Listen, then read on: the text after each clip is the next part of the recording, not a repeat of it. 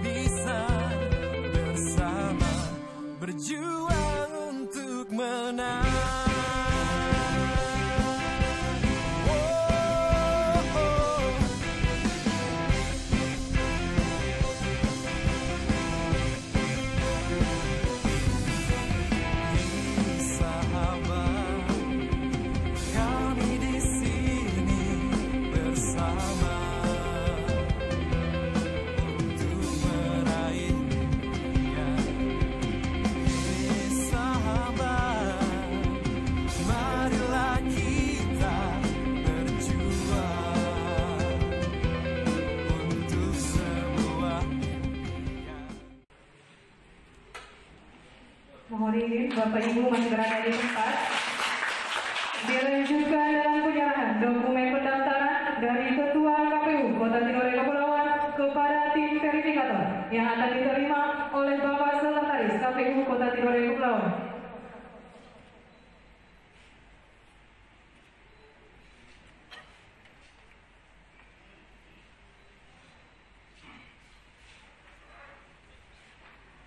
Untuk itu, Ketua KPU, tim LO, dan seluruh Kota Tidore Kepulauan dipersilakan untuk kembali ke tempat. Selanjutnya penyerahan dokumen pendaftaran oleh Sekretaris KPU kepada tim verifikasi dan dilanjutkan untuk diinput ke dalam aplikasi Sila oleh operator Sila.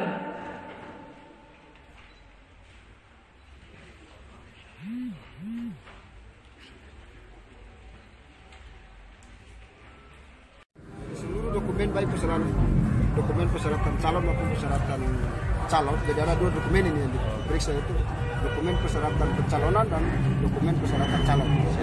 Itu dinyatakan lengkap dan sah sehingga kita menerima pendaftaran. Selanjutnya mereka akan dilakukan eh, diberikan surat pengantar pada calon untuk melakukan tes kesehatan. Pemeriksaan kesehatan di rumah sakit Hasan Soiri Ternate yang tim pemeriksa pemeriksa kesehatan terdiri dari pihak rumah sakit ID terus eh, ikatan dokter BNN dan eh, IMSI himpunan psikologi. Karena ada tiga variabel pemeriksaan kesehatan di sana. Yaitu pemeriksaan jasmani di rumah sakit pemeriksaan psikolog eh, rohani itu HIMSI psikolog dan pemeriksaan bebas narkoba dari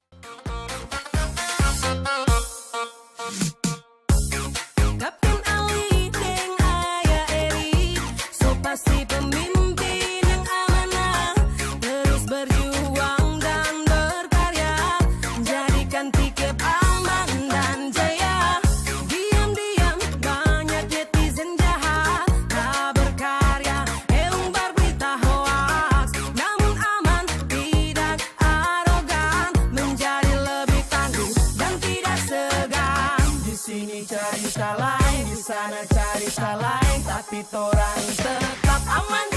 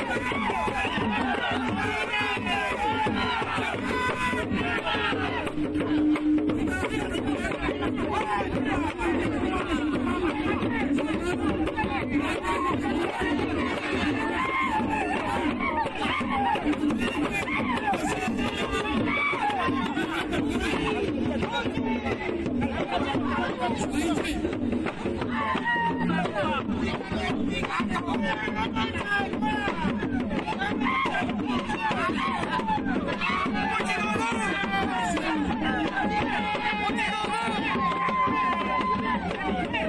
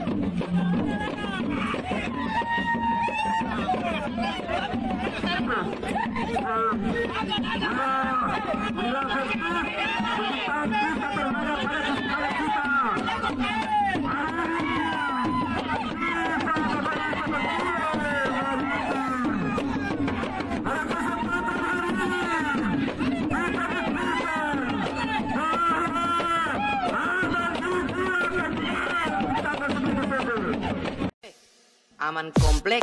Aman sayang, aman.